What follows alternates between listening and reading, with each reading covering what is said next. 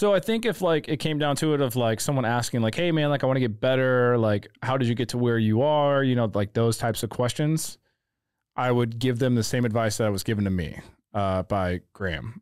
Um, he said, "Get two or three of your homies," and I would say this to them: "Get two or three of your homies that are passionate about what you're doing, just like you are, and shoot every day. Shoot as much as you can. Get your reps in. Like." Your mind will grow just like your body will if you go to the gym. But like you have to be consistent. Like you if you really really want this, you're going to lose friends. You're going to lose people in your life. You're going to make sacrifices. And I think not enough people actually like keep it that real and say that. But like there there's been plenty of shit in my life that I've lost because of this camera. Mhm. There's been plenty of things that I've gained. But like at the end of the day, that was like the best advice that I got. Like get two or three of your friends. If you love what you do, go out and do it. If it's playing music, if it's being creative with a camera, if it's playing Starting- sports, starting you a know, business or whatever. Yeah. being a test champ, like whatever the hell it is you want to do, like you need accountability. And like doing it alone is just tough. Mhm. Like you can learn a lot from YouTube, but like real world scenarios are going to trump everything.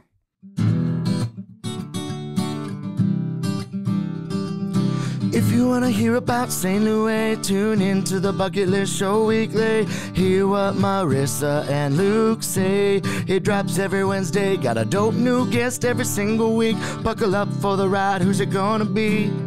Who's on the show today? They rep St. Louis. What to do in the Lou on a late night, or maybe what to do on a date night? Yeah. Bucket list has you covered, they know what's going on. What's going on, they'll give you, hey, 18 different things to do, or 19 if you need one more to choose, yeah. This city, city, city is a place we call home, a place we call home, yeah.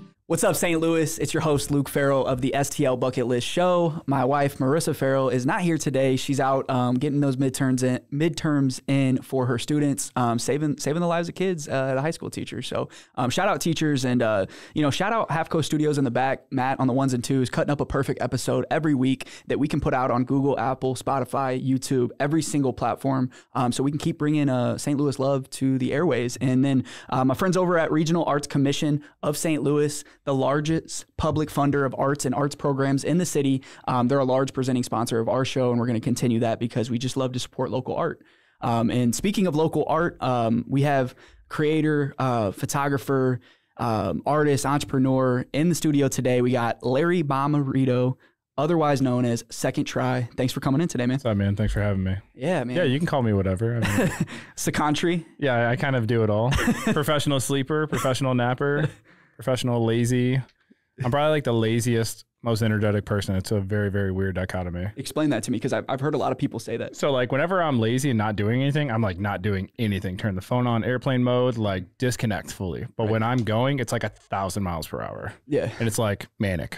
Just like go go go go. Do you go. think that that helps? Like, ha- like I feel like every successful like freelance entrepreneur, like same thing, freelance entrepreneur, but like every successful entrepreneur is like hyper obsessed with what they're doing at that exact moment. Um, I think you have to be in a way. Like you have to fixate on it. Like if you want to grow and create more and like actually push yourself. Yeah. Like you you have to fixate on it. Because like if you don't, if you don't, then like what are you really doing? Right. And, and you don't like you're not gonna get better, but then also like the best people, the most successful people are always obsessed. And then the, like you're they're not out there in the snow, they're not out there at the fires, they're not out there at three in the morning climbing on shit and doing all that stuff. Like Right. you're just different. Um, I would say that like there's just a time and place for everything too. Like there's been, I mean, I've been walked around miles and miles of the city, Mhm. and I'm like, I've, I would like to say I've seen a lot of it, but I mean, there's still stuff I haven't seen. Mhm. But I mean, I pick and choose my battles now. Like there was definitely a time where I was like, nonstop, have to go get it, had FOMO, all that stuff, and now I'm like a little more strategic with what I'm doing. I A little more, a little more planned, a little more. Um, Sticky notes, writing down shit. yeah, like yeah, I, I have my sticky notes on the fridge, and you know, I, I have my checklist of things I do a day. So Well, hey, man, that, that's that's what it's about. So on our podcast, cool thing about it is we like to kind of go back in the day. Um, a lot of people don't get that opportunity to kind of talk about their childhood, talk about um, where they're from, you know, stuff like that. So if you could go back to before Sekondtry, way before Sekondtry, you know, Larry Larry Bommarito, like tell us where you're from, tell us about your family, tell us about your upbringing, just kind of go in deep about uh, about that. Uh, so I grew up in Dellwood, Missouri, North County area, uh, right next to Lake Ferguson. Uh, I went to Riverview Gardens High School. I dropped out actually my junior year. School's not in the cards for me. Um, I have an older brother. He's five years older than me. Uh, my parents are still together, happily married. Um, I didn't really have like a crazy childhood. Like I just played with like neighborhood kids, and like it was obviously before like cell phones were around. Like I'm gonna be 34 next month, so like Oh, prehistoric times. I actually like enjoyed being outside and like getting stitches and like Yeah. I never broke a bone or nothing like that. But um no, like my childhood was pretty good. Like poor family, like we didn't have a lot, but um I appreciated what we had. Mhm. You know. It was it was a pretty simple life. Like me and my brother got along great. Never had any issues like with family at home. So it was, Just it was you good. four. It was just you four.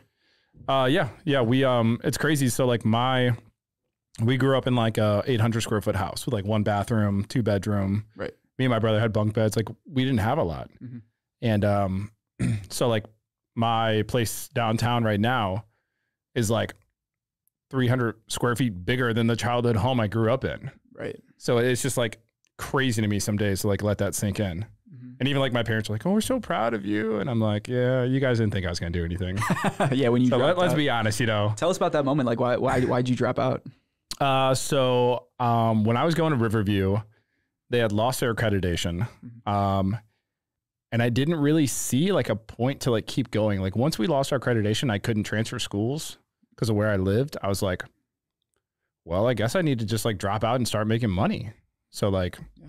that's what I did. My parents were just like, you're an adult now. Like, if you are old enough to drop out, like you're old enough to make your decisions. Yeah. You were 17 at this time. Uh, yeah, like 16, 17. Yeah. It was like right around, right before I turned 17. So, yeah, junior year, um, like 2006.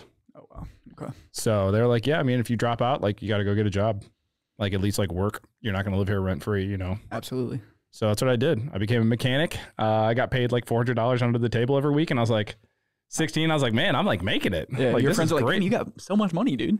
yeah, like I I was playing drums at the time. Like I played music when I was younger. I skateboarded, so like I had like extracurricular things. Like I played baseball growing up, Mhm. and then um, I just like kind of started finding myself. Mhm. I was in like a straight edge band for like a long time. Like I was like playing drums, like driving out to O'Fallon Mhm. every weekend, staying out there, just like things that like nobody really knows. Right. Like O'Fallon, Missouri. yeah, O'Fallon, Missouri. Yeah, that's where I'm from. So like I was driving out to O'Fallon, like Highway K, like yeah. you know, back in 06, like where it was still kind of like farmland. It wasn't like really overdeveloped like it is now. Yeah. Yep. And uh yes, like that's how I would spend my my weekends. I would work during the week and I lived a That was pretty where your simple. band was, or like where you guys practiced at. Yep. My parents would not let us practice at the house because I had anger problems and I hit the gr- drums too hard. Well, in, in an 800 square foot house, I mean, you're blowing up the whole entire house. Oh, my neighbors would hear me across the street. Yeah. Like they would call my parents and be like, "Hey, will you tell your son to shut up? We can hear him." You went He's- to O'Fallon, like houses are spread out a little He's bit He's shaking the house Yeah. across the street, and like I would hit hard. Like I cracked cymbals all the time. I like broke drum heads. Like I had like severe anger issues, and I didn't realize it until I started playing music. and then you're like, wow, I- had like something's It's wrong. like wow. I was like, man, I. And now I'm like super stressed and have like crazy anxiety now these days. I'm like, I probably need to start playing drums again. Yeah, I mean, sometimes it is, and like, and and uh, do you think that like the drums, the camera is what drums used to be for you at that time? Oh, absolutely. Yeah. It's like my my interest and hobbies shifted from like skateboarding to music to a camera now. Yeah. So it's like it always my attention always goes from like one thing or to the other. And I always told myself too, like if there ever comes a time in my life where I'm like I'm done with photos, like I don't feel creative anymore, like I'll put it down and start something new. Right. I have like no problem with that. Like I'm not scared to like wake up one day and be like, well, I'm just not into it no more. Yeah. I mean, you always have it. Same with music. Like you can always pick it back up, but like if it doesn't interest you anymore, then it's like if it doesn't excite you, that's what it is. Like we all are like living this life of like we're just trying to be excited about something. Right. And you mentioned anxiety. It's like I need something that gives me something to be creative or an outlet to do Yeah, so- to like- create. like right now these days a camera helps me get out of bed Mhm. And gives me like a purpose to be like oh i should probably go do something today. Right. like i have this talent i have this i have great gear like i have like everything i could want when i first started and i'm like now i'm like well okay i should actually probably like put it to good use. So like i have like um i like to hold myself accountable to it you know? Like i've worked hard to get to where i am now and like it's still only the beginning for me Mhm. like in my head. So i'm like okay well like if i don't wake up every day and like go after it then like someone else is going to be going after it Absolutely. I always have that same feeling. Is like if I'm not working, somebody's outworking me. And Oh, yeah. and it's with anything. Like and and I'm not a photographer, but like uh, uh, entrepreneurs or creators too. Like we have to create the life that we want. Um, and that's what's inspiring about it. And like just seeing your work, like I had met you a couple times. We, we I went to your house yesterday. That was the first time we actually really talked for a long time. But I noticed that you're you're kind of you know reserved to your craft. Like you don't have to show everybody. You don't have everybody to see. But I wanted to kind of take it back to when you started because you didn't start taking photos in 2006 when you dropped out. Like you know, No, so what um, year did you start taking photos? So I started roughly around like 2016, 2017. Like I don't really exactly remember the time, but it was like around that time frame. Um, You're still just getting started at this point. It's only been five six years. yeah, and like, and I'm still like, I'm still learning stuff daily. Mhm. Like, I, I don't think I'll ever. Well, I don't think I'll ever obviously stop learning, but I haven't been doing it that long. Like in perspective to like some people. Right. Like I know for a fact, like Joan, for Mhm. instance, you know, or like Mike, or all these people that like I'm around in my circle. They've been shooting for eight, nine, ten years. Right. So like I still feel like a newbie, honestly, which is kind of crazy. But So why'd you pick up a camera then? Uh, made you get one? Like, were you just were you interested in like? no, so I had no interest at all. I never thought like I had an iPhone, obviously, and like I would take photos. Mhm. But um, I had a really bad breakup in like 2016, 2017, and I needed an outlet. I needed a an escape. I needed a way to take my mind off of it. And um, she had bought me a GoPro the Christmas before. It just sat in my closet. Didn't use it. Didn't think anything about it. Um, after all that was over and happened, um, I had basically cleaned out my room one day, found it in a drawer, had an Instagram already because I was like posting like cloud porn and like what we were eating every day. You know, like just like how like 2000, The fun part of Instagram when like it yeah, was like, just here's a meal with a 2015, 2016 shitty filter on. Instagram. Yeah. Yeah, put your put your hue all the way up and like just Yeah. call it a day or Yeah. whatever. The the lux. Yeah, the Lux. The Yeah, Lux just just filter. crank your lux all the way up Yeah. and call it a day. make it Like, orange. Yeah. great, get 20 likes and you know, Yeah. success. So I basically took out that GoPro one day and started shooting at Cementland because like I grew up in North County, so like pretty close to it. Posted them on Instagram and like got some good responses, and I was like, huh, I actually like didn't think about how shitty my life has been in the last three months. This might be something, Right. And I just kind of stuck with it. That's crazy. So a GoPro. A GoPro, a Hero 4 Silver. It was a touchscreen, Yeah. and uh, I remember like turning it instead of like turning it, you know, vertic or horizontally, I would turn it vertically so it would fit better with the IG Mhm. format. And I was just like, oh, well, I had a wide angle lens already. So I was like shooting vacant buildings going on on rooftops, like looked cool already to it. Yeah. So you'd be running around with the GoPro. Like, did you ever run into like other photographers? Like, they're like, "What are you doing, dude?" Oh, I had people like laugh at me. Like literally, like I had one person tell me I had shitty composition one time. I was like, okay, well, that'll never happen again. Uh, like I, I took offense to a lot of stuff. Like I took it personal. I was like, okay, cool. You guys want to laugh now? Yeah. I'll make sure you don't laugh again. And Like then, that was like my, I had a chip on my shoulder. well, absolutely. And like, and that's what you said, you know, yesterday is like, you're like, it doesn't matter what camera you have. Like, I mean, I have the A7 II, but like, I've also shot on my mom's Canon that's so old, like 15 Oh, years yeah. old, and I've made great pictures. I've took great pictures on this, and Yeah. with the right, you know, with the right shot. Um, so like, it's just funny, like jumping around on buildings, and then you like whip out like this little GoPro. Oh my god, I had like a huge backpack, like everything. And then they're like, "All right, oh bro, like what kind of camera you got?" And I was just like, "It's right here." and like that's it. Like it's just like this little baby, yeah. little baby thing, and like in my hands, like it just like would fit. Yeah. And I'd be like, "This is it." And you were taking dope pictures with that. So like, how long I was you- I was editing JPEG photos, 12 megapixel JPEG photos. I was editing those and then making prints off of them. damn. Like the two prints in my Yeah. my uh kitchen, Yeah. Those were sick though. and like they still look good. Yeah, I- and they I even think. printed well. I mean, we, we didn't blow them up too big, but like they even printed well, and and that's what I'm saying. It like it doesn't matter about the gear, but like there was a point where you're like, okay, I'm looking at other people, I'm looking at other people's photos, and I'm getting jealous that I'm not able to take that photo because I don't have the gear. Um, did you have money where you make you weren't making money? You obviously weren't going to a Um, client shoot with the GoPro. No, so like the very actually uh crazy story too. My very first, my very first ever paid photo gig was for Acura. Damn, Uh, gig. It wasn't. Yeah, It was for a local dealership here in St. Louis. It wasn't like Acura, Acura. It was like a local dealership, and they brought like three cars out to the city for me to like. Uh, it was like Acura TLs, like at the time they were like brand new off the floor, and I had to borrow my buddy Zach Day's Canon 6D, and I did, had no idea what I was doing. He like gave me like a quick rundown of like, oh, like you shoot manual, like this is how you do it. Yeah. You'll figure it out. Good luck. I shot those photos and made $150, and I was like, I'm rich. Oh, I was yeah. like, this is great. I just made money off of doing something I like. Right. I was like, my mind was blown. and like knowing what I know and now, it's like, God, I should have charged so much more. Like, I'll never do cars again. Like, I know that for a fact that, like, from that day, I was like, I don't ever want to shoot cars.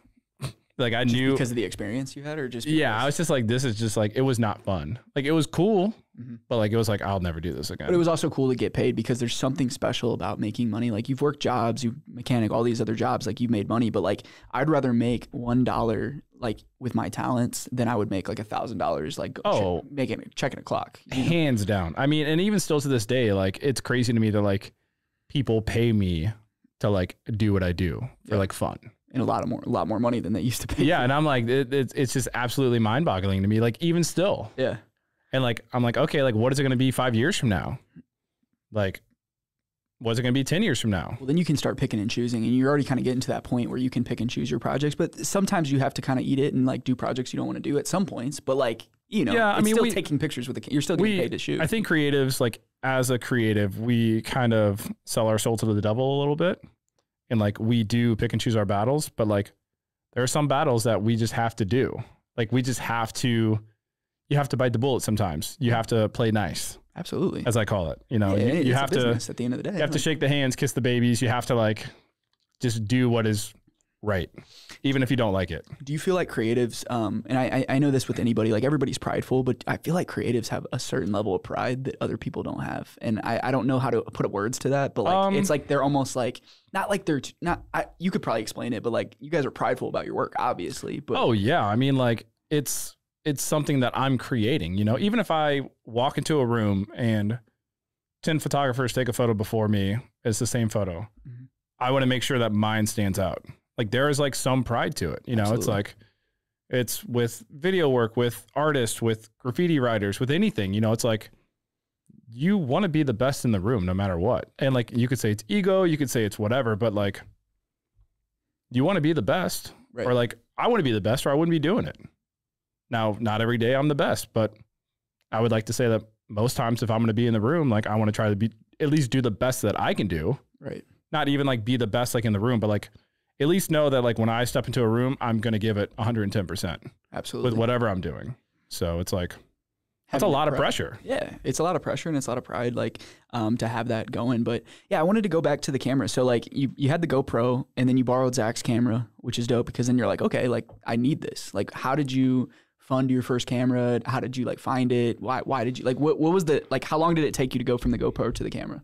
Um, so I had had a GoPro for probably a year. Wow. and then um, I'd actually, and it's funny too because I bought it from, or she got it from Best Buy. Mhm. It's like Best Buy's warranty, like is still like crazy, right? Like yeah, always. you can just smash something in Best Buy after you buy it in the back. Oh, cool, here's another one. Yeah. So like I was purposely, I was so petty. I purposely wanted like a brand new camera all the time. Mhm. So like I was purposely shooting with a GoPro for like a month and just like smashing it and like taking the pieces back to Best Buy and be like, I want a new one.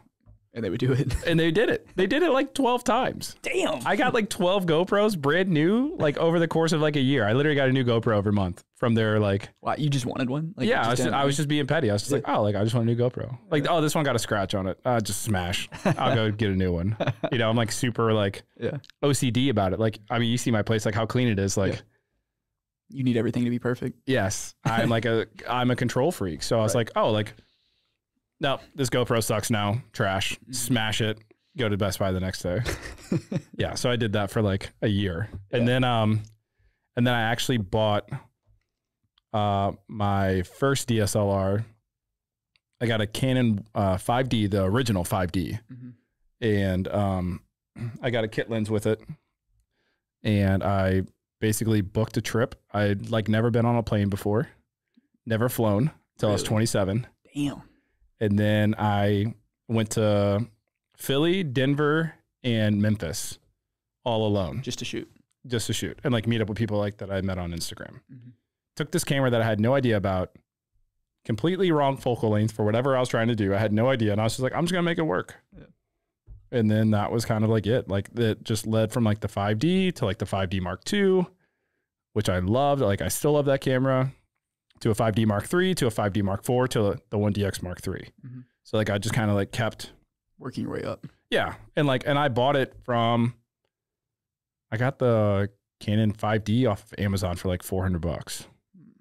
And It was, they like, still used. sell those. They still sell those. Or no? Oh, I mean, you could probably find one, but like they're compared to like what we have nowadays. Yeah. it's it's a true dinosaur. So do you shoot mirrorless now, or is that? Is no, that this is full frame. Oh, this So yeah, this is still full frame. I don't want to switch to mirrorless. Yeah. I'm old school, I guess. You're old school, man. These kids these days, they all want mirrorless. man, I feel you. But so when you went to that trip, um, like obviously street photography was a calling to, towards you, and I don't know if that has anything to do with like where you grew up at or your music or anything like that. But is there something about like, would you say you're a street photographer? Like, what is your title? Um, honestly, at the end of the day, I think I just call myself like a photographer. I don't think I like have like a label or Category. a title. Like I can kind of shoot whatever. Mhm. Like I've done nightclub photography, I've done food, I've done product, I've done people, I've done places, I've done architecture, I've done branding. I've kind of done everything. So I'm just like I'm just a photographer. Right. And honestly, there's like a little bit of me still where I'm just like a dude with a camera. Mhm. Like I wouldn't even consider myself like a photographer. Yeah. Like I'm just a dude that goes out and just takes photos. Right. I just happen to do it for a living.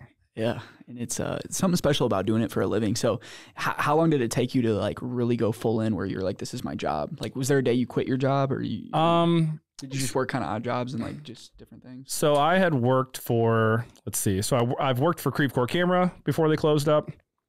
I worked like in the media department for First Form uh, here in St. Louis. Love first Form. Um, I worked for the Cardinals for a few years, um, but First Form was the last actual job that I had before I became full time freelance. And then I started doing nightclub photography full time at like Ember with like DJ Murph and all them. Yeah. And then I'd bounce back and forth between like Wheelhouse and stuff. Okay. So that's kind of like when I was like making good money on the weekends. I was making like, I mean, I was making five, six hundred bucks a weekend for taking photos for an hour. I was like, okay, cool. Like money's good Yeah. like this is like steady and I have all week to kind of do whatever I wanted to do creatively. Yeah. But then I got put on salary and then it got even better and I was just like, all right, cool. I like that's like when I started feeling like, okay, like stress is kind of going away, Mhm. bank account's going up, creative juices are flowing. I have like time and I have like time to think, space to like reflect on things. It was great. and you could do other client work during the week if you really wanted to. Yep. Um, And then COVID hit. Oh, COVID. And then boom, COVID. yeah, because you were working at because I I did like some media work, just like social media work for Ember, and I remember you were working, but then you had stopped, and then they sent me a bunch of photos to use, and I was like using your photos or Yeah. something, and they didn't Yeah, have so, like, anybody. I'm like, so hey, they- we need some new content, and they're like, oh, we don't have any. So they were using like Drive social media here in St. Louis. And then Drive was like, yeah, you don't really need us. Like your photographer is doing really, really well. Like you can save all this money if you just use his stuff. Yeah. And they're like, oh, okay, great. right. So it was like kind of like pointless for us to have Drive. Yeah, Like same situation. Like we're just like giving our photos, my photos to like, another marketing company. Right, And, and I they're was, just and I was like, oh, this is perfect. I was like, oh, I'll, I'll just schedule all these out, and I'm good. Like, Uh, yeah, I don't have to exactly. I was create making everybody else's job easier and not getting paid for it. I was like, well, this sucks. I was like, well, uh, Yeah. live and you learn. Yeah.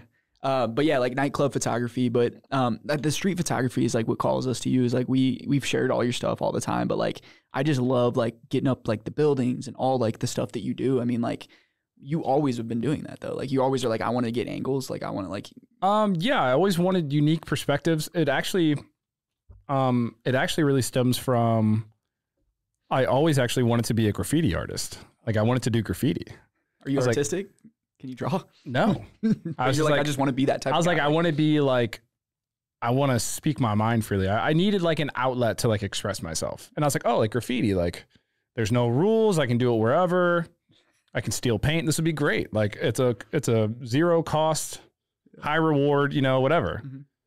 Uh, tried it for like two weeks, sucked. I was like, with this, I was like, well, never mind. yeah, And then I was still taking photos and um, at the same time, and I was like, I was always intrigued by how they were getting, how graffiti writers and like taggers were getting to these high locations Mhm. and tagging like billboards and rooftops. And I was like, how are they getting up there? Right. And that's what sparked my interest originally with like, oh, I'll figure it out and take my camera with me and show those perspectives. That's how it all started yeah, like before rooftopping, like before I knew that rooftopping was a thing, I was completely clueless. I was just like, oh, like there's there's probably no one else doing this. And there wasn't. I mean, there was probably a few guys. That I mean, there no, I mean like rooftoping's been rooftoping's been going on for decades, like Right. in a general sense, but maybe like not in St. Louis. Yeah. Like there was like maybe a few people doing it, but not really like showcasing it. And then when you were taking those pictures, like were people like, you know, asking you like locations, and then like probably you were probably getting in trouble too. I would Um, imagine. I mean, did you ever get arrested or anything up there? so I've never been caught physically. I've well, I, okay, so I've been detained once in Kansas City, Okay.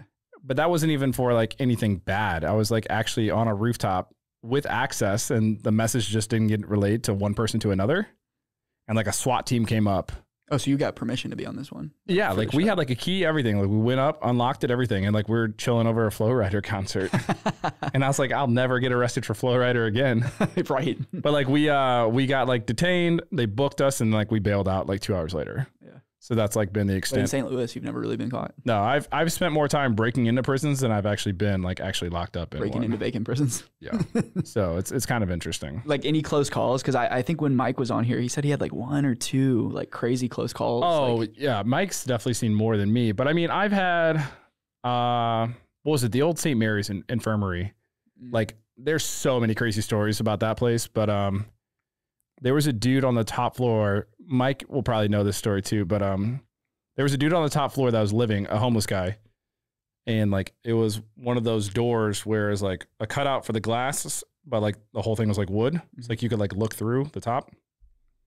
And it was busted out. And this dude was in a room like this with like blankets everywhere. And like you couldn't tell. Like he like hung blankets from the ceiling and everything, like made like a little like room or had a whatever. nice little house, like a nice little home he made for himself. Yeah, he was chilling in there. And uh, my buddy Ryan hopped through the door. He crawled up through the window because the door was locked. Mhm. Crawled up through the window, and all of a sudden he jumps down and lands and like hits on the ground. And this dude opens up the curtain in the room and he has a Bowie knife in his mouth. And he's just like literally about to attack Ryan. Right. I've never Breaking seen a his house. person. I've never seen, and, and Ryan's a short person too. He's like 5'8, Mhm. 5'7. I've never seen a short person hop so high in my life and run out of a place. Damn. This dude chased us out of there. like you guys were just booking back. Oh my God. I was terrified. I was like, this dude's going to cut us. This dude's going to kill us. That's crazy. But like, I mean, weird stuff happens all the time. yeah. Like, I live in, I live downtown. So like, I see crazy stuff all the time and I'm so desensitized to it now. Yeah. Like, I've never like, I've never had like a bad run in, I guess you could say. Mhm. never had like a gun pulled on me. I've never like Right. had anyone come up to me. Like I'm a sort of like a big guy anyway. So I mean like someone would really have to I think either be ballsy or just like not care. Right. And like you have cameras, but like cameras could like you just never know. Like like you said, you broke you basically broke into this guy's home and he was just like, What's Yeah. going on? Like he could have thought it was somebody that he ran into a week ago or whatever. So I've I've like adapted and kind of like learned because I explore a lot by myself right now. Mhm. Like a lot of people are busy that I used to shoot with, or like people have moved away. So like I do a lot of stuff solo these days. right. So I'm very, very aware and conscious of my like my surroundings at all times. Like I always like go into buildings and like make a lot of noise and like basically let other people know that I'm there. Right. Before you start, you're like, So like I don't spook somebody because that's like when you're gonna get in trouble. Like when you scare somebody. absolutely. Like if someone came randomly, if you woke up at two o'clock in the morning to go pee, Yeah. and there's a dude walking through your house, he'd be like, you'd freak out too. Right. So I mean, same perspective. Yeah. Like it's just in a different area. Yeah, and it's and these guys, and yeah, it's just a whole different lifestyle. And uh, you know, the street photography is just like crazy because like sometimes like you guys will like, have you ever been like a guy that like got like portraits of people, like random people, or is that not really your style? Like, um, so I don't like getting in people's personal space. Yeah. Like, cause I don't like people getting in my personal space. like coming up and taking a picture of somebody, like yeah, I'd be like, "What the fuck are you doing?" right, like, And like, it's funny because like I know exactly what they're doing, Right. but like it would just be like the but as somebody that doesn't know, it's like, why are you taking pictures? Like they're at a vulnerable state, or they're like Yeah. sprawled out on the ground. like if. I really like want to, I do it a lot in New York when I travel there. But like that's just because nobody in New York gives a shit. They got other stuff to worry about. Like They're literally like a thousand miles per hour. They literally could care less about what you're doing. People shit in the middle of the streets, right, and they just like walk past them, like walk over them. yeah, So like, but also I've kind of come down with like a, um, I wouldn't say like I'm timid, but there is like some times where I like I feel uncomfortable taking a photo, but that like makes me know that I'm probably doing the right thing Mhm. to like go against like your fight or flight. right, Like when you feel that, like you know you're in the right spot doing the right thing. Taking a photo. Like when you feel some tension. Yeah. Well, tell us about something like that, like a photo that you. Um, so like me, me, Mike, and like Matt, and like you know, kind of like all the homies that we used to do stuff with, like during the 2017 like Stockley verdict, Yep. like during the protest. Mhm. Like we were at the front line the whole time, getting pepper sprayed, maced. Mhm. We didn't give a fuck. we were like media people. that these pictures needed to be captured. we were we were getting in front of media people. Like we don't care who you are. CNN, great, you can go fuck off. Like Right. we live here. like we're gonna get our shit. Yeah. Like we're gonna get our shots. Were they like they had the news people and they're like, "Hey, can you move out?" Like, Yeah, we're just like- them, I remember- just like this. I remember Mike literally looking at you, looking at a person, and be like, "Who the fuck are you? Who cares?" And just like us, just like going about our business. That's crazy. Like I have a photo of, of mine and Mike, or I have a photo of Mike's in my house, uh, and there's like an actual. You can link it up on a YouTube video of like the overhead chopper of like of like the live stream, and like you can frame. see like him taking that photo that I have, and it's like so sick. Yeah, I It's think I know exactly the one you're talking about. Like all Yeah. the shields and all that. Mm-hmm. Yeah, like it's so sick. Like stuff So- like that, man. It's just like when you think of photography, you don't think of doing stuff like that. You think No, of going mean, to a white box studio and like setting stuff on a the, thing. and the thing that kind of a few of us are doing, like even like in the culture as a whole, like we are kind of like risking a lot of stuff. And like sometimes it's really, really dumb and there's not like a like much reward just to say like that we did it. that's all it is at that point. Like you're not getting paid. At, Yeah, like this. it's just like it's a true expression of ourselves. Mhm. Of like we have these photos, they're ours to keep. Nobody can nobody will have these moments. You know, like you're literally like locking a millisecond in time forever. Yeah. Like that's a very powerful thing. yeah, it's a good way to look. at If it's good or bad. Because good and bad shit must be showcased. And a lot of time, the bad stuff is like that. Like those pictures are going to be in history books, but they're not going to be as cool as the ones you guys took. They're going to be the the ones that Oh yeah, they're gonna be the ones we tell stories about, like when yeah, we're like be like, oh, I took that same picture except way better. Well, I, I wouldn't say way better, but yeah, it's it's definitely like um, there's a time and a place for everything, and like I think whenever, like whenever all the protests were happening, Mhm. I mean, we were just like we were so hungry for it. We're like, God, like this is something different to shoot. so you guys all met up and like we're like we're going. Oh yeah, we're like we're gonna be in a group. We're not gonna get split up. Like we're gonna like do the buddy system and like do this right. So you weren't shooting during Ferguson because that was 2014. So you weren't Yeah. shooting. That's like right there by your hometown. Yeah, so I was working for the Cardinals actually. That was my very first year. It was 2013 or was it 14? I think it was 14 because I was a senior in high school. I think should know. two- yeah, I think 2014. I think I was a Um, senior in high school. Well, it could have been like 2013 over two. It could have been like multiple. I don't. I don't know. I think 14. I mean, it lasted a long time. Yeah. And like, um, but like Mike and all them like were shooting yeah. back then and like the stuff that they got, you know, I was just like, I wish I would have started earlier. You know, like that's like just like the infamous like, God, I wish I would have started earlier. I wish I would have done this before. You know, it's like, but now that I'm doing it, I really try to make the most of it every day. So you really didn't like have a real camera, and like the GoPro is like that shooting, but you didn't have a real camera until you're 20. Like my age is 27. So basically, you got your first camera like at my age right now, and Yeah, and figured it out. later- Like I didn't watch YouTube. Like it was me, Zach Day, and uh and Scott, my buddy Scott, Mhm. and um, and we would go out. We were like the three amigos. Like we literally like would go out every day. If one of us didn't feel like shooting, the other two would go up to go over to his house and Pick get him him, Yeah. and be like, "You're gonna shoot. like we're gonna hold each other accountable." yeah, and like um it was just like instead of one of us making a- a mistake and learning from ourselves three of us were making mistakes and learning three times faster and it just excelled us right.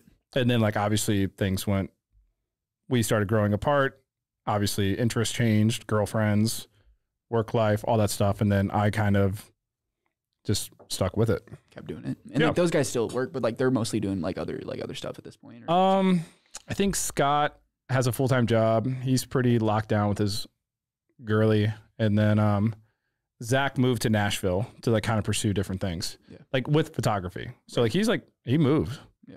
And people ask me all the time, like, why haven't you moved out of St. Louis? And I'm like, well, I kind of like feel like I still have a lot of stuff to do here, right.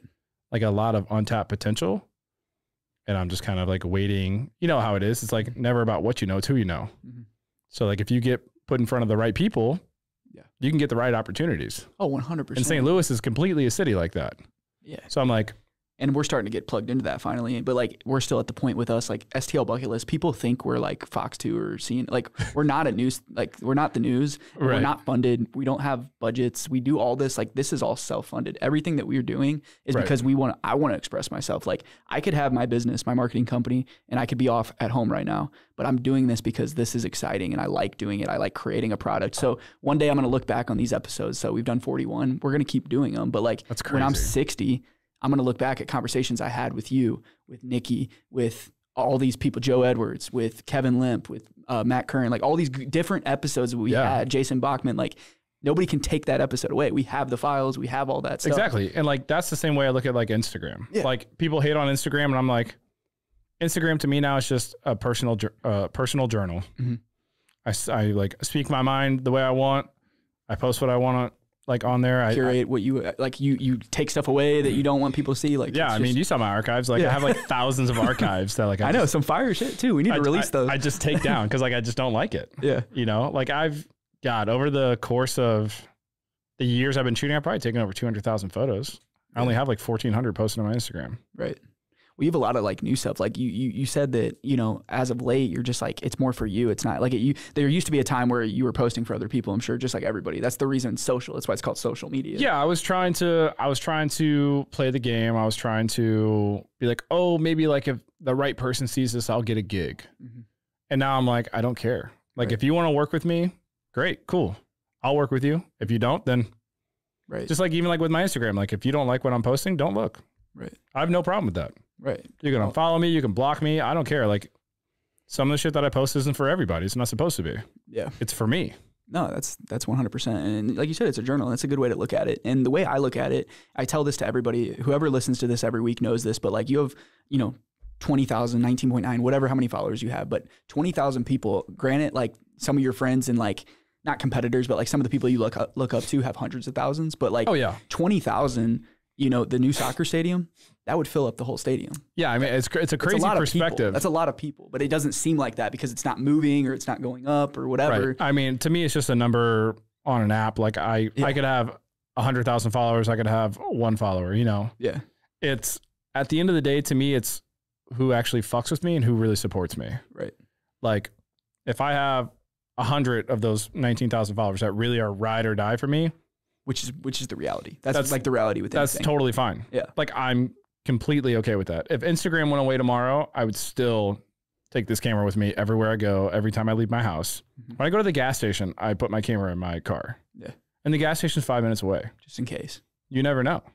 Like shit can pop off at any time. Well, I think that's important. Like, and that, that's what I think the difference is between most most photographers is like if you're a photographer and you don't have your camera, you're not shooting every single day. It's just like basketball. It's just like just like work, like working out. Like if you're not working at it, like you could work out for 20 years and stop for two years and lose all that progress. yeah, you need repetition. Yeah. And like it is definitely like one of those repetitive things. Like you I mean, the fact that like now I can take a photo and like you know, and it's just all muscle memory now for like the settings and just everything. Like that took time. Yeah. Like your first shoot at Acura, you were like, uh, Yeah, I was like, like, everything was coming out blurry. You're like, it never came out blurry. Yeah, I was like, ah, just put it on the green button. It'll be fine. everything came like autofocus. Like you're like looking at the camera, like trying to autofocus. And and I know a lot of photographers like hate autofocus, but like when you're learning, it's like shit. Just use the tools that you have. Yeah, I use autofocus. yeah. Use the tools that you. I crank my ISO. I I mean, yeah, like I kind of shoot very unorthodox. Like I try not to use a tripod Yeah. unless like I really really need to. I like to be very like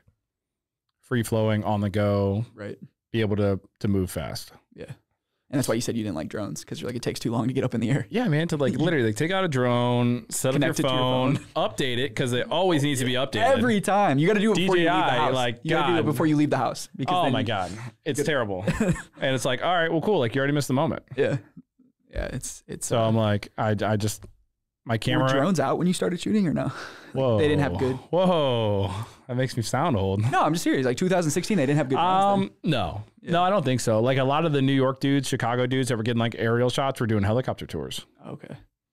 I thought Taking was better like, quality, better better pictures because they're using a camera. exactly. Uh, because yeah, like drones, like kind of like like obviously like I can't get the same shot as you, but like I could potentially fly my drone up and angle it down to almost get a similar shot now without with just being on the ground. Yeah, I mean, you can Photoshop your feet in. Yeah. I don't know how to do. I don't know how to use Photoshop, but yeah, all the photos that I actually post on my Instagram are legit real Yeah. and they're really my feet or me like in the place. Oh, Like, yeah. I will say like, well, some people are like, oh, like you Photoshop shit. No. That's what I was getting like when I first started. They're like, oh, like this dude's photoshopping himself, and I'm like, Yeah.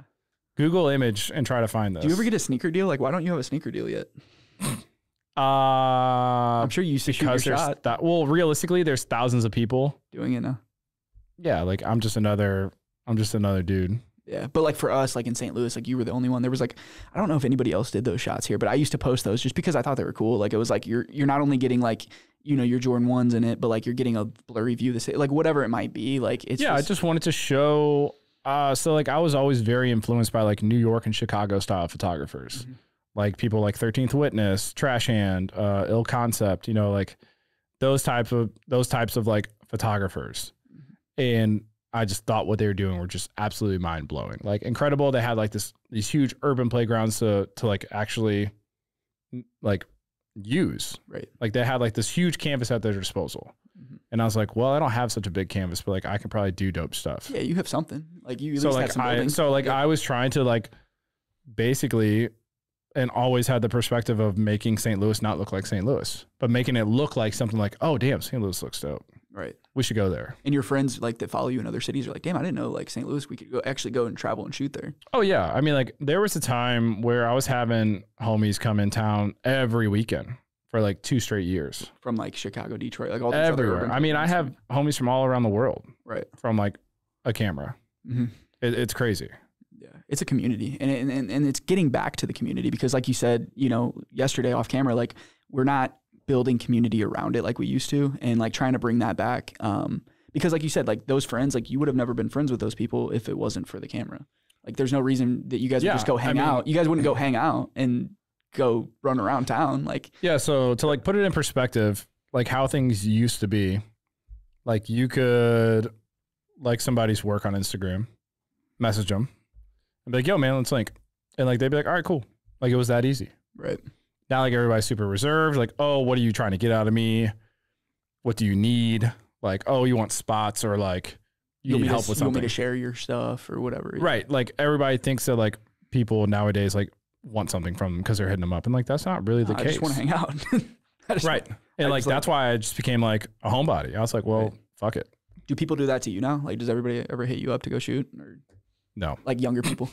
no. Uh there there's a few. Yeah. But like um I mean like and it's cool to like have respect now and like actually I would say um I guess be like someone that people kind of like look up to now. It's like cool. Like I wanted to like You looked up to people. Now you want to have people to look up. to. yeah, like Yeah. and I always like and now like for instance like Sidar, my buddy Trashhand who lives in uh New York. Like I looked up to that dude for so long and even like Mike Romer, you know, like and now like I'm friends with him. So it's kind of like it's crazy. Right. But now I'm just like, well, whatever. Mike sucks.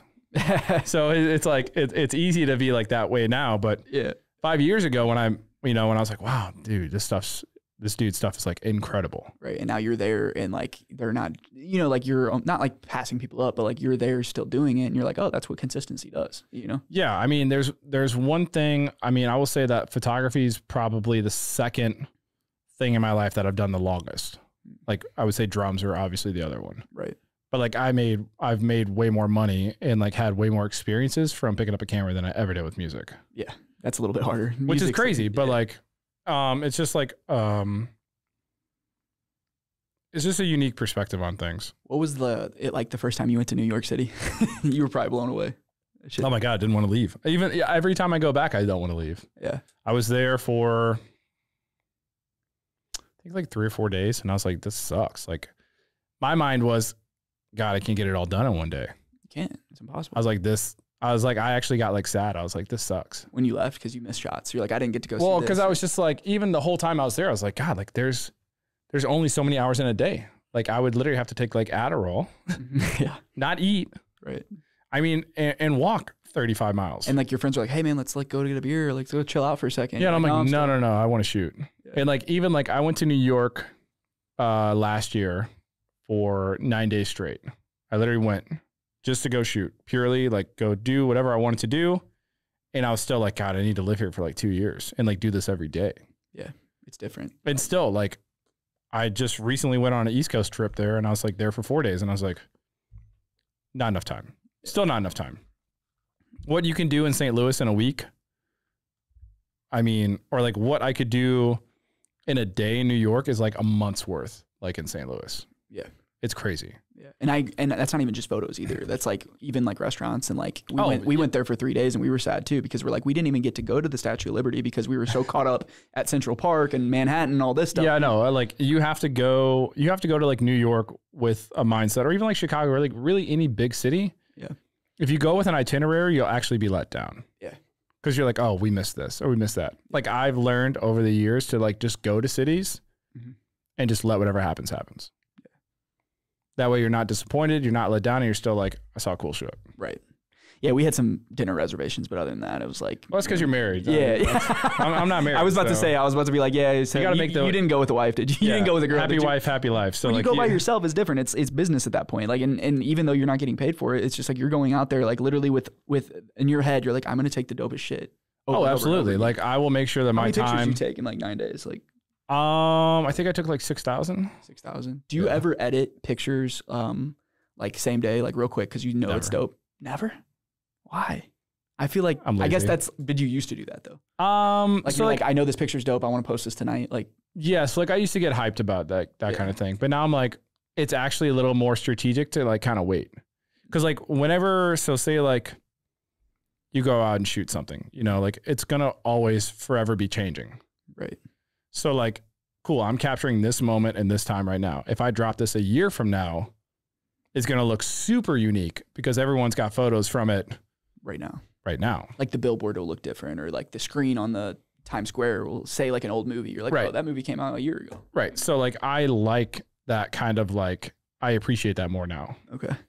But there was a time where you're like, shit, you're like on your phone, dropping it in, doing Lightroom on your phone. Like, I never edit I've actually never edited anything on my phone. really? Never. That's crazy because they got Wi Fi now. You can just drop it straight to your phone. Yeah, I hate it. Because I've made so many presets on my laptop at home and like I I get called like a serial killer because I don't have a mouse on my laptop. I do everything from the trackpad. Yeah, that is weird.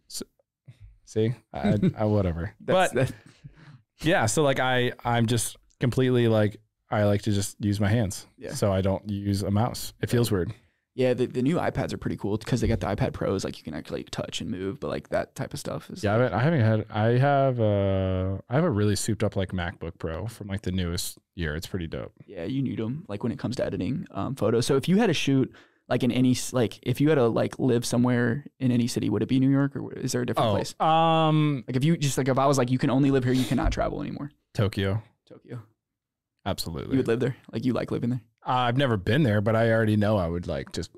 I thought you went to Japan or you went. To I went China. to Shanghai. Oh, okay. I went to China. yeah. I was gonna say I thought I, it, it's similar. Like like I mean obviously Asia, but It's it's. I wouldn't say they're the same, but like they're pretty similar. Shanghai like Tokyo is more of like that New York, and then Shanghai might be like more of The like lights, the bustle, the red, like the the Mhm. whatever they're called, like the houses with all like the red like clay tiles and like all yeah. I mean Shanghai. So I went to Shanghai for like ten days, nine days, and like I was like, God, like I just hope that I lose everything, so I have to stay here. like I hate. Actually, I love St. Louis so much, but I hate coming back because I'm like, well, this sucks. My trip's over. right. Back to my boring. Drink coffee in the morning. Wake up when I want to wake up, and like go walk around the same sixteen square blocks. Yeah. Cool. You need to shoot in South City, man. I go around. I get around. You- I haven't seen anything you posted. You, like South City, the buildings aren't tall enough, or what? Mm. Like I feel like some old, like the Hill, South City, like some, some classic stuff. Uh, so like there used to be a really really dope factory in South, like right over by the hill, where they actually just built that new development by the Kingshighway Bridge. Whenever they redid Oh, all the that, new, uh, yeah, yeah, yeah, it was like the pet food factory. yeah, yeah. But like that, all that stuff, everything's always forever changing now. Right. Like abandoned buildings are kind of. um I mean, obviously new stuff's always popping up, but like the real rustic, dirty, like real decay. Yeah. I think like that generation's finally kind of getting like cleaned up. Yeah, new stuff's coming. Yeah. So everything's like you know drop ceilings now, and Well, even like the Armory, like the Armory building used to be like a huge open. Now it's like a oh it's yeah, gonna be like a new ballpark. built. It's just like a new like place for people to drink and yeah, and like play games. and I have photos from that place from like 2017. Like, Yeah. God, I remember like trying to break into that place for like two weeks Couldn't get in. and just like, like, damn, this fucking thing sucks. Like, why is it so like? And I'm like, well, duh, it's an armory. Like, it's Right. obviously not meant to be broken into. Right.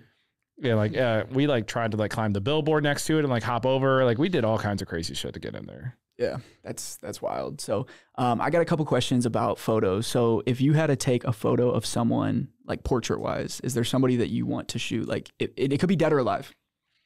No, is that too hard? They're No, no, no, no, no. I've definitely thought about like, uh, like historic like portraits and stuff I've wanted to take. Um, Could be both. Like somebody dead, like a classic person you could take a photo of, and then maybe somebody like modern day that like would be super dope if like you went and took photos of them. I would actually really like to take a photo of Mike Tyson. Yeah, like right now, currently. Oh yeah. Yeah. I think it would just be like I think he would just have like a lot of like cool, interesting stories. Yeah. And I would always I would really like to take a photo of a president. It doesn't matter what president, but to like to say like on my resume, they're like like Barack. I think Barack would be like so swaggy and so Yeah. dope. And you could make it look crazy. Like it would be. Oh like, my god. Yeah. Yeah, like uh, would, on the basketball court with his suit, like with Oh. the basketball would be crazy. Like on like a old like basketball court in inner city Chicago, like that would be fucking crazy. yeah, I would basically try to like make Barack look like old Michael Jordan Nike ads. Yeah, like a complex ad or It'd like be a so complex sick. magazine cover. So Yeah. Barack and Mike Tyson, that's interesting. Yeah. um, that's cool. You could probably make that happen. Mike Tyson seems like he gets out there a lot. Like he does a lot of podcasts, so I think he's pretty open to like. Um yeah, and Gary Vee actually. I would. I would really like to meet Gary Vee. Shit, you could run around. He probably needs another content guy. Uh well He's so always- Drift is homies with him. oh, really? Uh, he's open to forever. Like he's down for supporting anybody. It seems like. Well, maybe maybe not now, but it used to be. Like, Um, yeah, because like when all the NFT stuff was popping off, Drift like got into it pretty early. So like Yeah. that's what happened with all that. yeah. Oh, you but- dropped an NFT project, didn't you? Yeah, it didn't do so well. Did it not? It's just because there's so many people like me doing it. Well, it's photography. Like I feel like, Like, the, graphic- allure yeah. like went away. Unless you don't have a big following, like you're gonna get lost. Yeah, like uh, what's his name? Uh, Jake Paul or Logan Paul did one with like Polaroids, but that's because he's huge. Yeah, and I was like, well, yeah, if I had 10 million followers, I could sell anything. he was selling Polaroids for like fifty thousand dollars and stuff. That's what I'm saying. But uh, the pictures were dope. It, it was like called Jay's on Jay's on my feet or Jay's on the street or something like that. What was it called? Uh, Jay's for days. Jay's for days. Um, but yeah, it's hard. I sold one. Did you? I mean, well, that's success then. It was eleven hundred dollars. I was like, all right, cool. Like the person still owns it. uh, no, I think he sold it. Shout out to Mason. Mason sold it.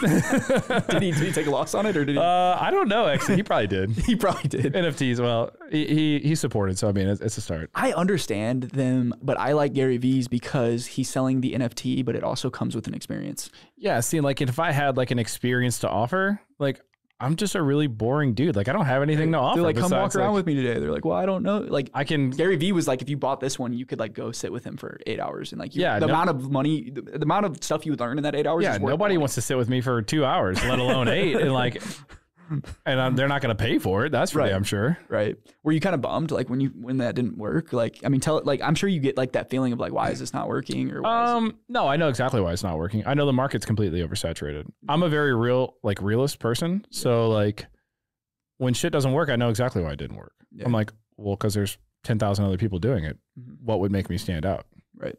But like, that's like my mindset. I'm like, I don't play the game. I'm not gonna make reels. Like, I'm not gonna like. Make a Discord channel and stuff like that. I Yeah. don't care. Yeah. Like, I don't hashtag anything anymore. I don't tag people in my photos. Like, Yeah. fuck it, man. If you see it, you see it. If not, oh well. Maybe you'll catch the next one. It's still pretty badass though that you did it, and and that's like what I do is like we've done a lot of things that lost, and it not lost money, but like we've done a lot of things that like I thought was gonna work and it was gonna pop off, and it Absolutely. doesn't. But it's like we did it, so it's like we can Yeah, you- always you can always say that you back like when NFTs probably go away. Like I don't know if they're gonna go away or not, but like you could be like, oh, I used to, I had a collection. And Oh, yeah, I remember it back in my time. Kids, if you have kids or whatever, like you could pull that up and be like, oh, I was an NFT, I had an NFT, and you know your little son or whatever be like, that's crazy. My dad had an NFT Right. collection. Oh my god, he made them back in like 2020. That's crazy.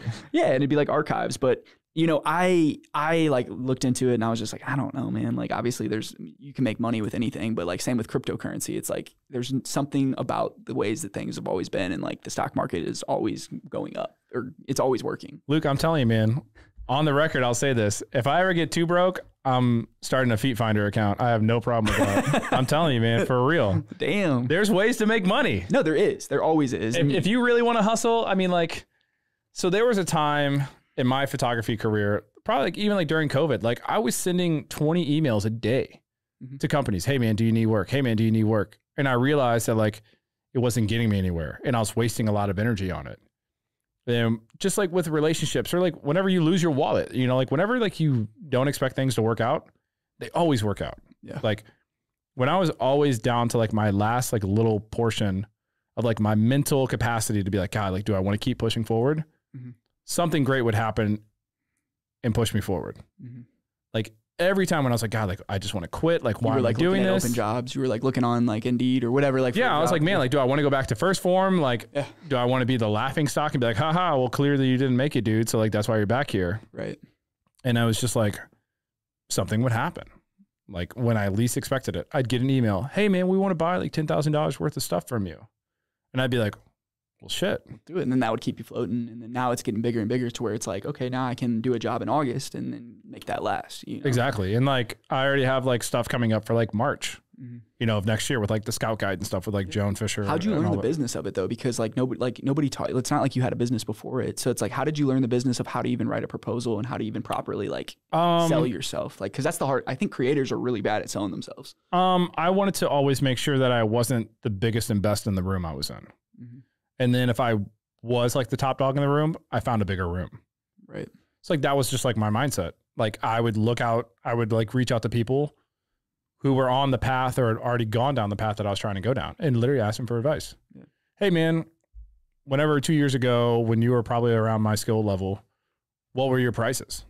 And they would be like, oh, I have an old proposal. Like, here's a proposal. You can like take stuff and like make. Yeah, man, I asked so many questions. I was like so bothersome to people, Yeah. like annoying, like Yeah. a bug. And I was like, because I wanted to retain information. Right. And I didn't want to do it off of YouTube because I wanted people to give me real life, real time info. hmm I didn't want to look at some random dude that I have no ties to and I don't trust. Right. I was reaching out to people that I actually trusted and knew. Yeah. And taking their advice. Do you have a mentor still or no? Not really.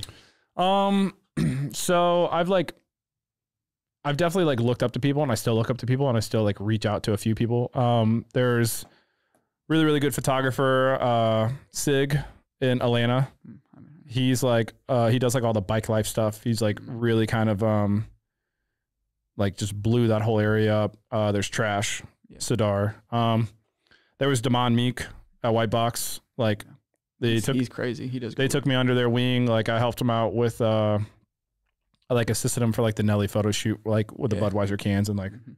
just really, really cool, crazy opportunities. And I like tried to soak up as much as I could from that stuff. Yeah, you're like, I just want to be here. I just want to watch you work. Yeah. And even like shooting around just like someone who's like different. Like when I would go, like I learned how to do black and white photos and like edit black and white photos from like an Atlanta trip, like being around my buddy who's really good at it. Yeah, it's not just throwing a black. And I was just like, yo, like how, like, what is your process? I wasn't just like, yo, give me the preset. I was like, yo, actually teach me what Right. you're doing. and also give me the preset too. Uh, he gave it to me, but yeah, and uh, also throw me that preset. but yeah. So it's like, and then it's all like situational too. Yeah. You know, like lighting. Like you and I could take the same photo in the same room with the same lighting, but it's going to look different. Right. That's just the way it is. Mhm. Like it doesn't matter. Right. Like I could tell you whatever settings, I could literally set up everything, Mhm. but you're not going to edit the same way I edit, or you're not going to focus in the same area I focus in. Mhm. That's that's the beauty of it. Yeah, that's real. And uh, but that's that's smart. Like you have to be a sponge, and like that's something that some people have to get uh, get uh, um over. Is like, why are you not asking people questions? Like, if I have like I'm starting to get into photography more, like I'm just gonna text you and be like, hey, do you want to go out and shoot? You know, like Yeah. just so I can learn You because you have to make yourself very vulnerable. And a lot of people, like when you're uncomfortable, that's when you know you're learning. Yeah. And like, and I'm guilty of it too. I get so uncomfortable sometimes where I'm like, all right, cool, shut down, timeout, Yeah. disconnect. Um, I mean, honestly, like I'm scared. Like that's why I haven't started video because I'm like, I know I'm gonna fuck up a lot. Yeah. And I'm like, I'm really, really good at photography, and I'm like, well, people probably aren't gonna like my video work. They're just gonna know me for photography, and I don't have the patience to like learn it right now. right, and you don't want to put out bad work. You know, Yeah. Or you don't want to like if somebody pays you, you put out bad work, and then it's like, oh, now it's like, oh, Well, this oh. dude's unreliable. He sucks. right. So I'm like, well, Just stick to what you're good at, and and you could still work on it, but just like work on it on your own until you're ready to actually charge for it or wh- whatever it might be. But yeah, I, I typically try to stay in my own lane when it comes to stuff. Video is the future, though. I think video is important um, to an extent. But like, if you're just a photographer, like a lot of places just need photographers. Like a lot of like big fashion brands, like big, like they just need like good photos. And Yeah, but there's also a video element to it. I don't know if there's a benefit to doing both. I don't know if anybody does both amazing. Like some people are really good at video, video, and they can do some decent photos. And Um, a lot of my buddies out in Denver, uh, like Frankie Lee, Mhm. Jack Fitz, the guy who did the video Yeah. for the Shanghai stuff. yeah, the documentary. Um, he is colorblind, which is crazy, Wow. and he color grades everything and actually takes really, really good photos too. So it's like they're they are out there. Yeah, and they're able to make they're able to run a nice business because they they're versatile. You know, and Yeah. like that's the the thing. Have you ever ran into it like? You know, with street photographers of like brands being like, I don't really want this guy working with me because like you take photo, like you don't like your feed doesn't like if I went to your feed and I needed photos of a beer can in a white box in a white room, like why Yeah. would I go to you? Because I'm like, I don't know if he does that. Like, Um, you ever have people like that? They're like, can you even do this? And you have to like send them stuff. so I, I get I get a lot of questions and like I have a website and everything, but like there is it's almost hard to like decipher like a lot of people's work. Mhm. So typically if someone like reaches out to me, I give them a very honest answer. Like the very first time I shot for Feast magazine here in St. Louis, I'd never shot food and I was very transparent with them. I was like, yo, I don't know why you guys are picking me. right. I'll be real honest, but um, I don't shoot food. You're like, I don't know how to stage it. I don't know how to make it look Exactly. like somebody eat, ate out of a And yeah. luckily, the the girl at Feast was super super nice. I I think her name was like Alex or Alexis. Mhm. I forgot. Sorry. Um, but she was like, "Oh, don't worry. Like, I'll help you with everything. Like, we just really really like your style. and We would like your perspective on it." So I think like realistically, to answer your question, if someone was reaching out to me that I didn't shoot this kind of stuff before, it's because you're getting my perspective on it. Right. no matter how unique, but there is like, if I'm taking a job, it's because I have confidence that I'm going to do it. So like, that's just You'll how it it is. Yeah, You'll it exactly. Like I will figure it the fuck out. But you probably could, and like this might just be me like just inferring, but like if you made it, if you really just wanted to do a business of your photography, like if your your Sekondtry was like Sekondtry productions and like you just put all your business stuff on there, you probably would get more business out of it um, potentially. But it wouldn't be that it wouldn't be as fun for you anymore because it'd Um, be like it would all just be business focused. yeah, because like at the end of the day, for me, like I want to work with other brands. Like I want to work with people in St. Louis. I want to work with like people in New York. I want to like work with people that want to work with me. Mhm. That like see something in my work where they're like, okay, cool, like this will mesh well. Right. and like half the time um like with the soccer team stuff like for the adidas collab i was absolutely terrified like i was like oh broad daylight kryptonite this is gonna suck Mhm. freaked out the whole time and the photos turned out incredible Yeah. so it's like it's that uncomfortable balance of like i had i had enough confidence to obviously do it but i second guessed myself the whole time like that's Oh. like completely normal Oh, that's way normal. Like and I think a lot of people don't like they don't want to be transparent about that. Like, oh, of course I knew I was going to get it. Hell no, I was terrified the whole time. right, even when they said yes and like the day came that morning, you're probably like, Yeah, I was like, I was like, oh shit, like this is going to suck. I was like, I charged them all this money, and I was like, well, this is like, let's hope hope it works out. right, You know, like here we are, yeah, and like that's happened a lot with stuff. You know, it's just one of those things to where, um, I mean, hell, I'll try anything once. Mhm. So I'm like, if Yeah. there's a budget, yeah. If there's a budget, and then you might like it. You're like, I might like shooting this, and that's why I tell like just have an open mind about stuff and like, Yeah, like with portrait work, like studio work. Like I before I started working at White Box, like I'd never um I'd never done like portrait work and I was like, "Oh, like how am I going to do this?" right, But I made myself very uncomfortable and like was like, "All right, cool, like I'm going to force myself to get better at this." absolutely, So it's like if if you want it, you can go get it. 100, percent dude. I don't want video, that's why I'm not going to get it. Yeah, not yet. I'll- I'll. You'll get there. Maybe I don't know. You might, maybe not. There's a lot of I hope that not. don't. Video is A different animal. it's a nightmare. Yeah, if you don't like edit, like you said, you don't edit. Like you edit obviously your photos, but like you're not like that intense like Photoshop editor, like the Lightroom. Like you're in Lightroom, like taking 45 minutes on one photo. Like, No, no, no, no. but like that's what it takes for video. Like you're not just gonna throw a video together the way you throw a photo together. yeah, no, I'm just- like you can't take the video right because you have to shoot it in a certain way to where it doesn't. It looks completely like when he shows this raw, completely different. yeah, And- looks like shit. yeah, Everything like looks like shit until he, until you put the magical Little- touch on it. yeah. Sprinkle a little fairy dust on there, Isn't make that us look good. It all I'm getting a little like shit. pale too, bro. You gotta you gotta color grade me. Give me a little tan. Can you you make know, for this me winter. not look as red? Thanks. Um, but yeah, man, it's the STL bucket list show. So typically we, we like to talk to people about St. Louis and uh, some spots that you like to go to. So um, obviously you walked everywhere in the city, but like I'm sure you've ate at some places and like visited some places. Like tell Oh. us about some bucket list spots that like Okay. if people are coming in. So let's say somebody's coming in town to shoot with you. What places you're hitting up some food spots for sure. Uh, so best pizza place. I don't care what you guys say. La Pizza. La Pizza. Okay. La Pizza. Ah, because I love Brooklyn style. So like I love like New York style pizza. La Pizza hands down. And that's because of Graham, kilogram. Yeah. He took me there one time and I was like, I've been sold ever since. I gotta and get you a spot. Pizza Champ is this new spot in Maplewood. They do. They do and like, Farachi's and Florissant. Rachi's is fire. Very underrated. Yeah. Nobody if you know, you know, kind of thing. Yeah, my mom and, and them grew up in Ferguson, and they we we always get the half baked one. You get the half baked one, take it home and finish and bake the rest of Farachis is fire. Yeah. yeah. Um, I'm a big Thai food guy, so like, um, I go to Sen Thai a lot downtown. Mhm. Uh, it's like a go-to for sure. Um, I go to Blondie's a lot, obviously, because it's my block Mhm. for like brunch for breakfast. Yeah. Um, I don't really eat out a lot though. Like I like cook at home a lot. What if, what if you had to go like what's a date night spot? What's like a like a nice dinner? Like if you Oh, like Louis, oh yeah Louis, yeah Louis fire because I can wear all black and it still looks nice. yeah because I don't put a, I don't put forth a lot of effort into dating or like dressing up. Like yeah. I mean, like I, you guys can't obviously see everything, but I have on. Well, if they're watching on YouTube, but yeah, he's wearing all black and shorts and I have on slides and Adidas socks. This is pretty much, unfortunately, dressed up. is there ever a moment when you're going to shoot where you're like, damn, I got to dress up a little bit for the shoot, or is it it doesn't really matter Um, I think it's like w- Like, we for a certain client where you're like, oh, I'm gonna actually wear like, artists are kind of like in the weird perspective of like I don't have to dress like this to like be an artist and like be good at what I do. right. It's like being a DJ. Yeah. Or like being a musician. Yeah, you just wear what makes you feel good. You If express if, yourself. if you feel comfortable and like you feel confident, it's going to show in your work. right. So I've never had like someone be like, "Oh, here's a dress code for like a shoot." If it was a wedding, it's a whole different story. Like you have to wear like black pants to fit. I've yeah. never shot a wedding though. Yeah. I never will. Yeah. So don't hit me up. Don't ask me to shoot your wedding. I'm not doing it. That's Clip that because I'm not shooting your wedding. that's funny. Don't ask. No, I'm not taking your baby We're photos. No baby photos. No dog taking- photos I'll I'll I fuck with dogs, but I'm not taking photos of your baby. I'm not taking photos of the uh, maternity. The, of your kids. Only like homies and homies. Like throw your price out there. I do not care. Not doing it. no, hey, do what you do. What you feel. It man. makes me feel awkward. I'm actually not like a people person. So for like me to randomly be like, "Oh, hi, welcome." to my studio. Like, Yeah, here. Oh, you guys are a family. Yeah. What do you guys want? Right.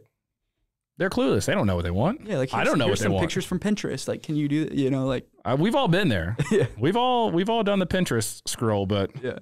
I don't want to if I don't have to. I want to work with brands that want to give me full creative freedom. Yeah. And trust me. Right. The soccer team, I will say this, they trusted me. Mhm. They had faith in me, they believed in me, and they're like, "We know that what you're going to do is going to be dope. Yep. Do what feels right for you." And then that gives you the canvas to like make what you want. And I do that with all the people we hire. Is like I don't want to micromanage anything because like that that limits the product that we're gonna get. Right. The product, and then it if I tell you like, hey, don't do this, then immediately you're like, okay, well that limits me, and now I'm like gonna dumb my work down, and it's not gonna. You're, you could have paid somebody else to do. Yeah, it. you, you want cookie cutter photos? Go find a cookie cutter photographer, but Yeah. it's not me. There's a lot of them, and there's a lot of people, and and you know, like you said, it's just like people are hiring you, and that's what I'm saying. Like if I'm paying somebody to do something, it's like if somebody's doing my bathroom, it's like I'm paying them to do my bathroom. Let them Right. do the bathroom. You Right. know, like obviously pick your stuff that you want, but yeah, it's like it's don't like- stand in there and watch them. Whenever you're whenever you go to a restaurant and you order food, you're not going to the kitchen and watching them work. Right. You just trust them. Yeah, I trust that it's gonna be good. So like you should do the same thing with your photographers. trust us. I promise you. We got you. You don't know it looks good. We do. It's like Yeah. it's the real thing though. Like people don't know what looks good to them until you you show them. Yeah. That's happened so many times. Like from friends of friends that I know, they're just like these big companies, these big brands have like all this creative direction. They have all these layouts of stuff, and then go figure that like they don't like any of that stuff when the end of the day comes around. And they're like, "Oh, we like all the stuff that you just did on the fly." Right. That happens nine out of ten times. hmm But they had like a whole consultant team come in to like stage everything. Yeah, exactly. Yeah. Like it happened with Paid the soccer team for. Paid yeah, it happened with the soccer team a few times. It's just like I understand that like that's their job and like they have like limitate they have like boundaries have to- Guidelines to hit. yeah, they have guidelines that they need to hit, but it's like sometimes you should just let the creative be creative. I agree. So it's like Let the know. creative be creative. That's my maybe what we name the episode. I don't know. Could. I, I'm just also stubborn, so like I'm very set in my ways. Yeah. Well, man, I appreciate you coming on. Um, I wanted to leave with one thing of something that you could tell a younger photographer or just a younger person that's interested in doing something like photography or something to be creative. Like, is there any advice that like, okay, I'm 21 years old or I'm 18 years old and I like send you a message. Like, are you gonna you're replying to that message and giving them some words? Like, what, Yeah, what type uh, of stuff would you say to somebody like that? So I think if like it came down to it of like someone asking like, "Hey man, like I want to get better. Like how did you get to where you are?" You know, like those types of questions. I would give them the same advice that was given to me uh, by Graham. Um, he said, get two or three of your homies, and I would say this to them: get two or three of your homies that are passionate about what you're doing, just like you are, and shoot every day. Shoot as much as you can. Get your reps in. Like your mind will grow just like your body will if you go to the gym. Mhm. But like you have to be consistent. Like you if you really really want this, you're going to lose friends. You're going to lose people in your life. You're going to make sacrifices. And I think not enough people actually like keep it that real and say that. But like there there's been plenty of shit in my life that I've lost because of this camera. Mhm. There's been plenty of things that I've gained. But like at the end of the day, that was like the best advice that I got. Like get two or three of your friends. If you love what you do, go out and do it. If it's playing music, if it's being creative with a camera, if it's playing sports, starting you know, business or whatever. Yeah. being a test champ, like whatever the hell it is you want to do, like you need accountability. And like doing it alone is just tough. Like you can learn a lot from YouTube, but like real world scenarios are going to trump everything. Right. So Like you said, I like the thing that you mentioned about like learning it. And like I, I had that problem in my business. Like I try to do everything on my own because I thought like I want this all on my own. Like I want to create everything on my own. And then yeah, it's like you're prideful and you're you have like, nobody to celebrate with either. Like of like you can't like show them like, hey, look at this, or like Yeah. you know, like hey, look at this like accomplishment we hit, you know, and like yeah, like when, when unfortunately, like when good things happen nowadays, it's like, and I don't know if it's like a St. Louis thing or not, but like no one like really stands up and like claps in the room. They're kind of like, oh shit. it's a that's another thing with pride. It's like if you don't, and Andy Frisella says this, and you you had mentioned like if you don't like to see other people win, then you will always lose. Yeah. because your your your mind's telling you that you don't want to win when you don't like other people. Like if you get a huge job with Adidas. And like I'm jealous, and I'm, I should be like, that's awesome. That's like a big job for our city. That will elevate us to the next job. Absolutely. Like I've talked for so long about like wanting to bring like big brands here. Like Mhm. Apple's never done a commercial here. Right. Nike's never done an ad here. Right. Like why? Mhm. We have plenty of creatives here. Mhm. Like plenty of potential. We have a blank canvas. If Nike wanted to come here or some whatever brand it was, come here, the city would flip over 10 times fold to be like We'd all show up for like extras. Everybody could- would be extras in the ad and everything. you could literally close down the city because it's pretty much already closed. yeah, Like it, it's not going to take much. right. Like you can have the free roam to whatever it is you want to do in this city. No matter what day it is, it doesn't matter. Right. Tuesday, 10 o'clock in the morning, great. City's dead. Yeah. You can literally film all day if you want. Right. So I just, I don't understand that perspective. There was something. There was a, and I'll tell you off air, but there was like an agency, government agency here locally that like hired people from out of town, and like a bunch of people were mad about it. Like they're like, why would you, why would you as a St. Louis like government agency like hire creatives out of town to come do a project that's like St. Louis based? You know, when like, we literally all live here. well, that's what I'm saying. You all live here. You probably would have got it done cheaper. You know, you pr- not even cheaper, but you. It, it doesn't matter if it was cheaper. Like it, even if it's the same exact price, it's different. It's, it's just a pride thing. Yeah. So like, for instance, uh, I'll make it quick. So like Detroit, like very similar to St. Louis, but Detroit has pride. They are proud to be from Detroit. They are proud to live in Detroit. They are proud they have civic pride. They're like, to do things in Detroit and keep things local. and there's parts of Detroit where you're like, why are you proud of this? But it's theirs. yeah. You know, like I'm proud to live in St. Louis. I've, I'm born and raised here. I've lived here all my life, and I think that like boils down to like kind of why I am not leaving. Mhm. Because like I have, Stuff to do. yeah, I want to show. I want to showcase St. Louis on a global scale, Mhm.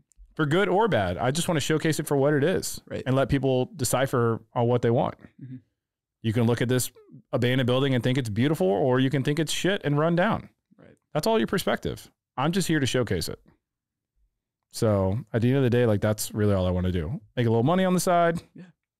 Be happy, work for myself, and like that's pretty easy. That's pretty much it. Yeah, it's doable, and you're doing it right now. So Yeah. there's gonna be a lot of people that listen and like you know are gonna reach out. Like we uh we have a tight following, but it, it's the same thing that you said. Like hundred thousand people follow us, certain amount listen. Like there's those loyal people that are gonna listen to everyone, and it's probably my mom and dad. And, if you want to, dad, if you, if you want to work, if you want to work with me, just reach out. yeah, It's that Uh, easy. we'll we'll we'll put the his website. We'll put uh the Instagram link and everything like that. But guys, start supporting like local creatives and artists. Like it doesn't have to be a video for you guys to like it. Um, photography is definitely still cool and it's definitely still relevant. So um, Half Coast Studios, shout out Matt in the back, cutting up a great episode.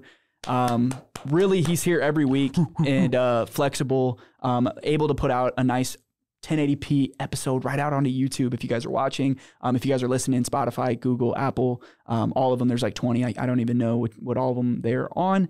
Um, and then Regional Arts Commission of St. Louis really allowing us um, to create this product because, as you know, um, it is not cheap to create content. Um, so we were able to make this happen and uh, put this podcast out, and we'll see you guys uh, next Wednesday. Today they rep St. Louis, yeah. They rep St. Louis. They rep St. Louis.